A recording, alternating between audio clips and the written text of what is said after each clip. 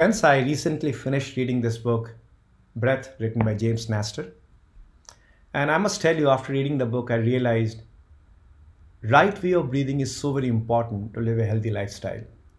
And I'm going to imbibe some of those breathing patterns and practices into my life, one breath at a time. And I do hope after listening to this video, you'll be inspired enough to pick up this book and practice some of those breathing mechanics and inculcate them in your day-to-day life. What I'm going to do next is share with you some five or six lessons I've learned. Hopefully you like what you hear. The first and the foremost is we have to stop breathing from our mouth. All of those uh, patterns and diseases you, you hear about, like for example, sleep apnea, uh, for instance, snoring at night, uh, for instance, the nasal infection, asthma, is a cause of how we are breathing in.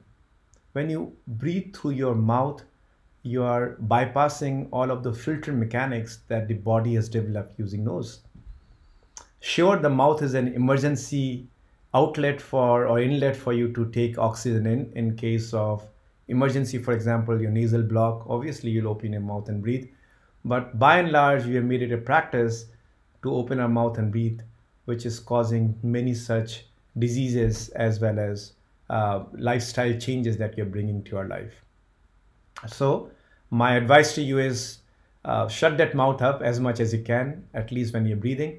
Be conscious about it when you are sitting and opening that mouth, trying to try to stop opening that mouth while you're breathing. Especially, you can practice when you're running. You'll realize that if you run or if you do any strenuous exercise or any strenuous activity, you'll realize that moment your body needs more oxygen, you open that mouth, try to shut that mouth up and see the change that will bring to your body. Uh, people also say that, hey, you know, I can consciously try that when I'm awake, but what if when I'm sleeping? So there are uh, certain mechanics you can follow. For example, there's a 3M tape you can take and uh, you know tape your mouth before sleeping which can help you to breathe through your nose but try to see what you can do to breathe through your nose and inculcate those healthy breathing life uh, changing activities into your body the second thing i want to highlight is it is very important that how many breath you're taking in a minute uh, I, uh, I i know that i was surprised to learn that in and i have an apple watch you can measure that and I was breathing about 12 to 15 breaths a minute. And what the book said is that you know optimum level is five and a half. How can practice that is simple. You take five and a half uh, you know breaths inside first, like five seconds or five and a half seconds of you know breathing inside,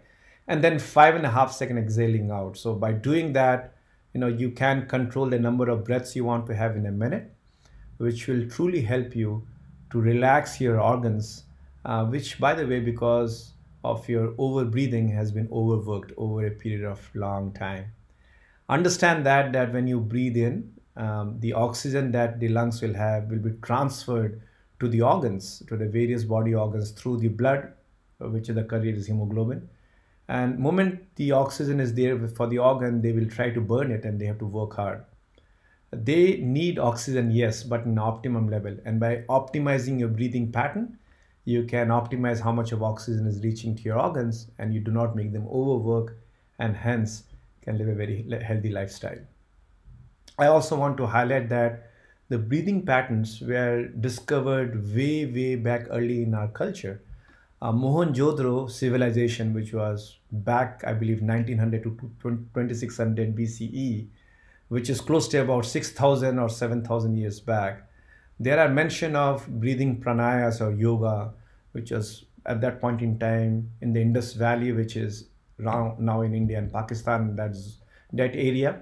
And they had signs of yogic poses and signs of yogic breathing pattern back from that time. Um, Buddhism, if you see, which is an offshoot of Hinduism as well, has breathing pattern. Om in Hinduism is nothing but when you say Om, you're breathing in and breathing out, again in the same rhythm of five and a half to six seconds. Similarly, rosary in Christianity, when you do that, it is nothing but controlling a breathing pattern. So people back in the day have realized how important breathing is, and that has been inculcated in different cultures: Chinese, Buddhism, Judaism as well as Hinduism, you can see that in ubiquitous pattern uh, in form of text, textbook texture as well as in form of artwork on caves as well as on different leaflets. I also want to let you know that holding your breath is also very important. You must have heard about deep sea divers who can hold their uh, breath for more than 8 to 10 minutes. Um, I think it's an art which you need to develop over a period of time. Holding your breath gives you control over your body and it also allows your body to uh, react and do work in a particular manner. As we all know, there are sympathetic and is uh, a parasympathetic nervous system. Parasympathetic nervous system is a relaxation, especially for example when you eat food, right? Uh, if you eat a lot of carb heavy food, what happens? Your body kind of signals you to sleep the reason it is signaling, signaling you to sleep is because it want to relax so you can digest the food uh, and signaling, signaling the stomach to digest the food and while you can relax, right? Similarly, your, your sympathetic nervous system are activated when the organs have to engage. You're running, right? Your lungs has to engage.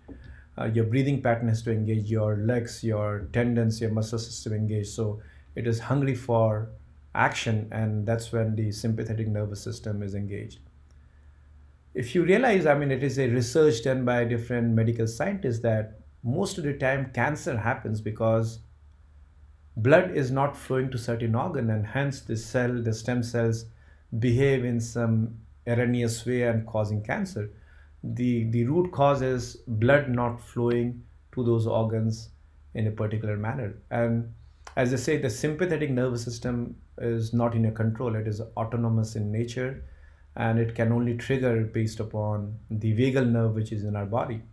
Well, in the recent past, scientists have tried to create um, uh, electrode which can be set inside the nervous system, which can activate the vagal nervous system to activate the organs. But all of those you don't have to do if you can breathe properly.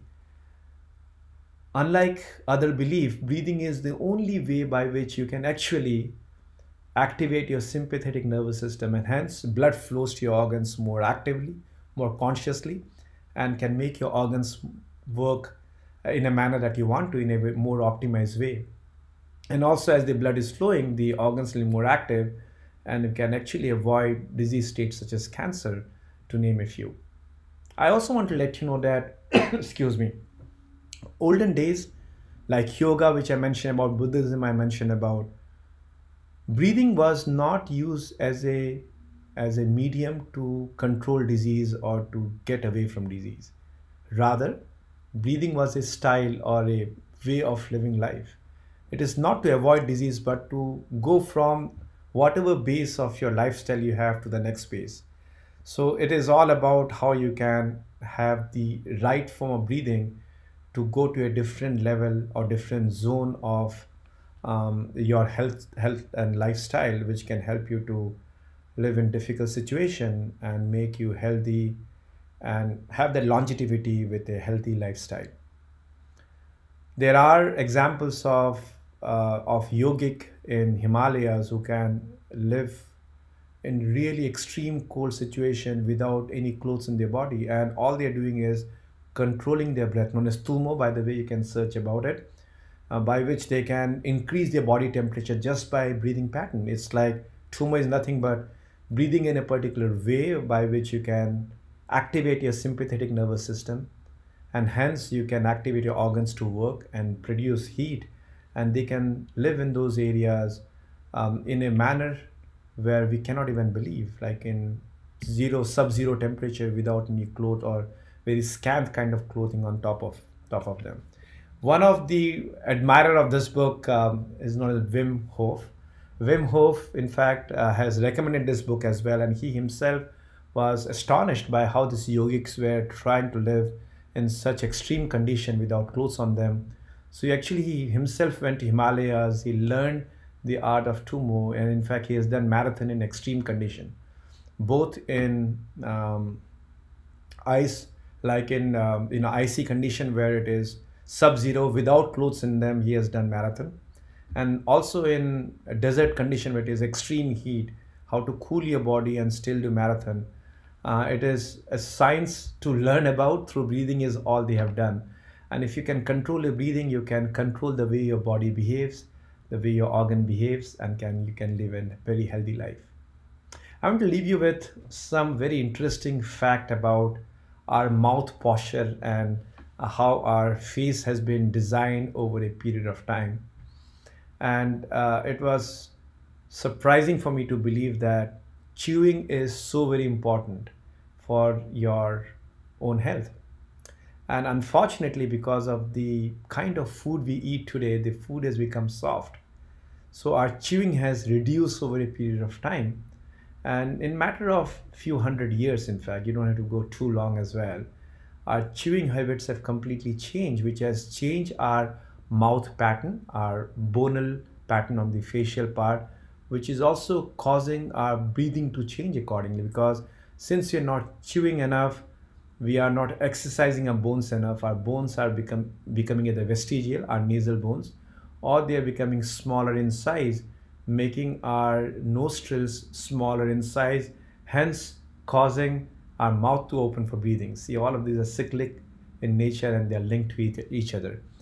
And chewing has become so, so very critical. In fact, um, if you go back in the old time, in fact, in my lifetime as well, when I was growing up, we were having raw foods which we can, you know, chew, chew all the time, like sugar cane.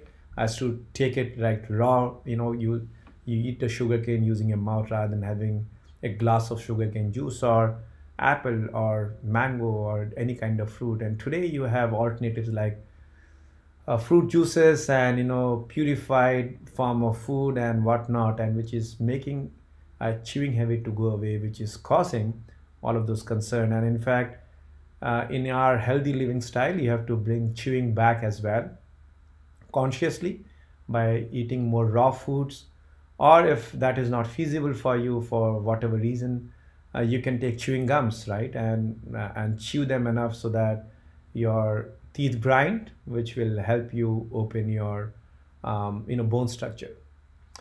You must have seen, and this is my last point, which I want to mention before I end the video. You must have seen that as we grow old, uh, our face, uh, facial you know tissue shows that, right? Your face will have droops, you know, your your tissues will drop, and it is kind of showing that you're growing old what I've learned, which is which I'm going to practice quite a lot now, is right by just inculcating few behavior of right breathing and chewing and all, you can actually grow your facial bone as well as the nasal bone back up. And as the bone bone grows, your tissues will accommodate more strongly around it, and you look much more young, uh, much more younger.